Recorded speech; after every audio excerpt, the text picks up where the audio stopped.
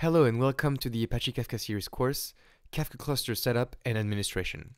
My name is Stephane Maarek and I'll be your instructor for this class. So first, the course introduction. We all know, and you'll figure this out very quickly, that Kafka Cluster Setup is quite hard. To properly set up a Kafka cluster, you're going to need a lot of things. You're going to need a Zookeeper cluster, a Kafka cluster, proper replication factor rules, multi-availability zone setup, proper configurations, and there are over 140 possible configurations in Kafka, some administration tools, but thankfully all these concepts will be visited in this course. So I want to show you what the course output will look like when we're done. So here's what we're going to have.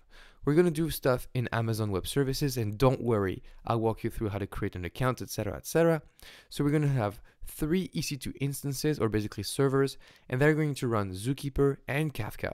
So we're going to have three Zookeeper servers and three Kafka brokers all running in different availability zones.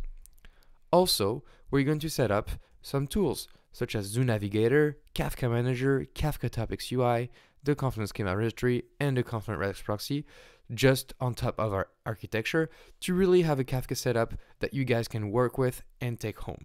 Okay, so a bit of um, introduction to this course, and then I promise in about 10 minutes the course is getting started with the code.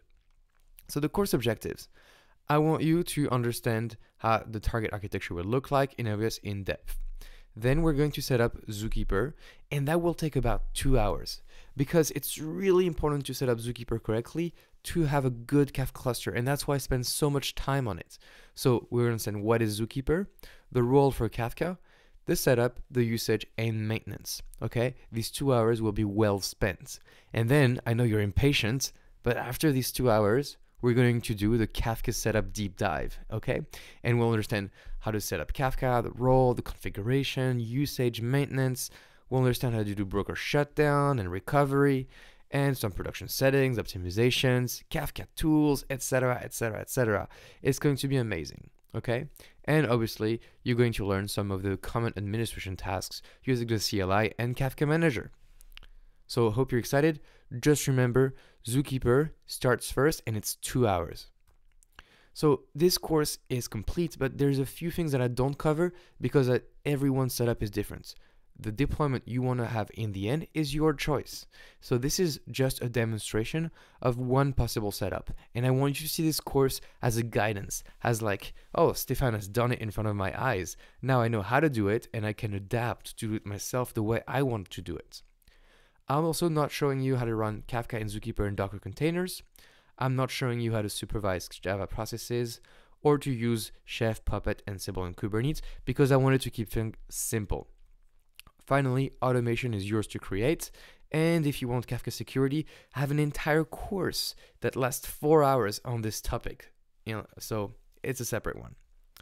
Finally, whatever you come up with as a final design, I cannot really help you with your Kafka setup, okay? What I can help you is understand what's going on in this course. So, prerequisites. This is a challenging course. I want you to know about computers, servers and networking. I want you to know about Linux, and we'll use Ubuntu. And I want you to know about Kafka. You need to see my Learning Kafka for Beginners course if you don't know what Kafka is at all. Finally, uh, if you want to follow the hands-on, you need to be able to use virtual machines or create cloud accounts. And if you use a cloud account, you need to spend a bit of money. So who are you and who is this course for? This course is going to be for system administrators or architects who want to understand concretely how to set up a Kafka cluster on multiple servers. It's also for developers to understand how the inner depths of Kafka setup work. It's not for developers who just want to read and write from Kafka.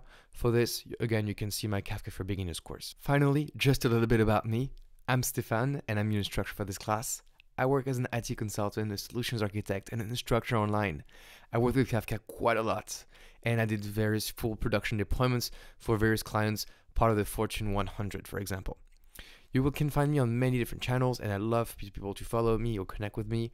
That can be GitHub, LinkedIn, Medium, or Twitter. Hope you're excited to have me as a teacher. Let's get started and let's build a Kafka cluster together.